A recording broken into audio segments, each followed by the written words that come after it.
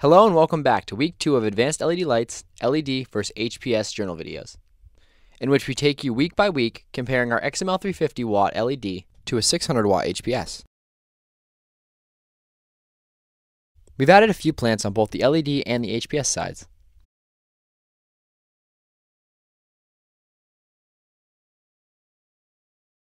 In the second week, the tomato and basil plants sprouted the most, growing about twice the size from the previous week on both the HPS and the LED side.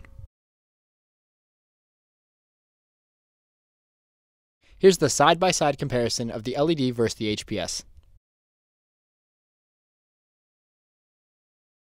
On the screen is tomato plant 1 on the XML 350 side.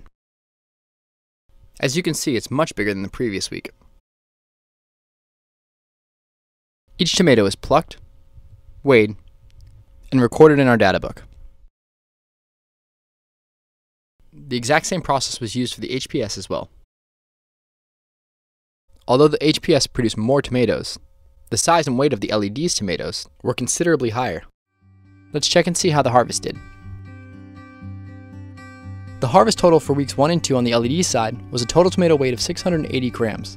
On the 600 watt HPS side, the total tomato weight was 418 grams.